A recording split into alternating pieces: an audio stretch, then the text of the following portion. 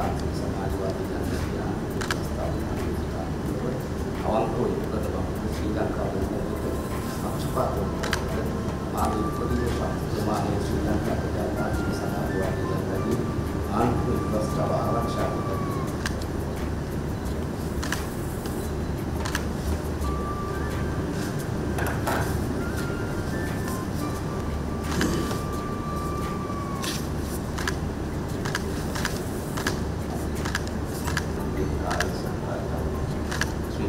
tentang kemajuan